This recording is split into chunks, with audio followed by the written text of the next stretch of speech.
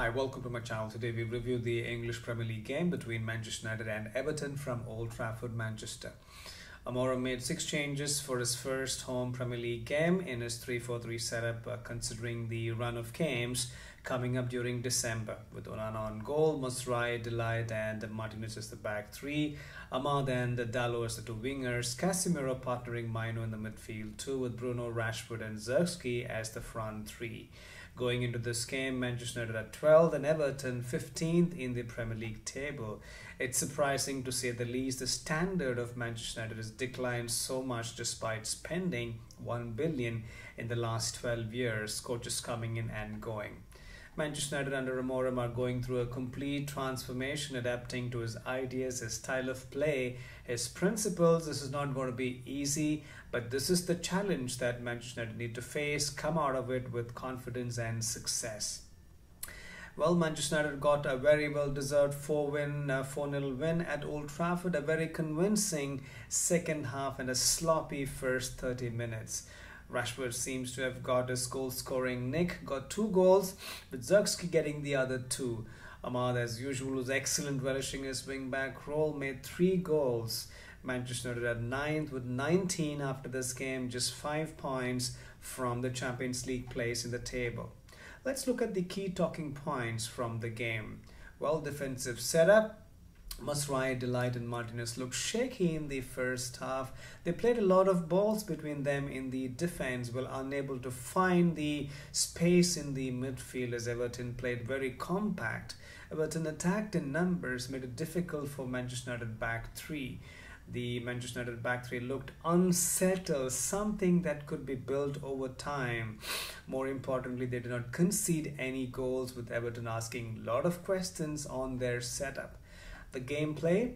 Well, Manchester United could not boss over Everton as expected at home during the first half. Everton found gaps at will. They looked dangerous, won all the first and second balls, and frustrated Manchester United. Manchester looked confused. They were passed around often, got caught out in possession. Everton looked very comfortable, very hungry, good energy, very sharp. They had a game plan to stop Manchester and they were quite successful. They sat very nicely in their shape.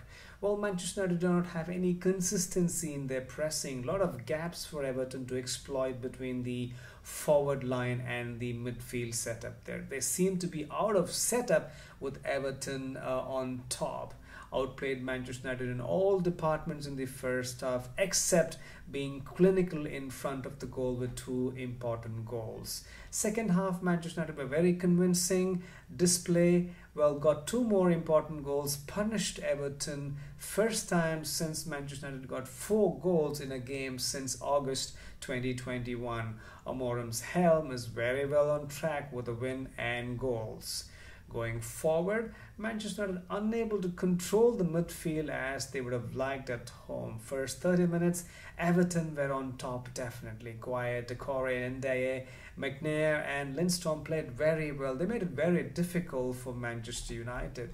Casemiro and Mainoo came second best. Slow pace and movement that Everton exploited with a lot more legs in the midfield.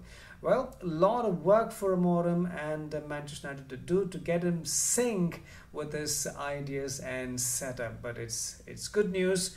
Most importantly, Man United got the goals, they got the win, they're making progress.